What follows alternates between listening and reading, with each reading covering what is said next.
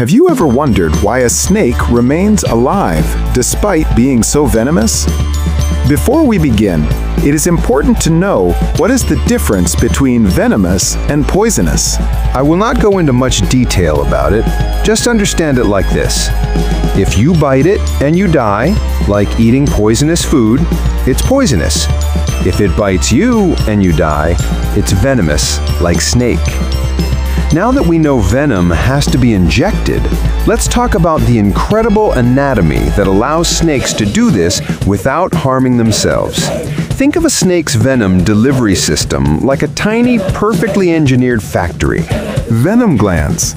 These are specialized salivary glands located in the snake's head behind its eyes. They're like little factories that produce and store the venom. Small tubes or ducts connect the venom glands to the fangs.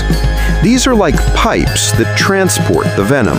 The crucial part is that this entire system is completely sealed.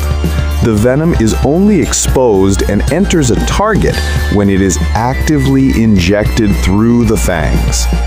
This is why a snake can't get poisoned by its own venom just by having it in its mouth. It needs a wound for the venom to enter the bloodstream.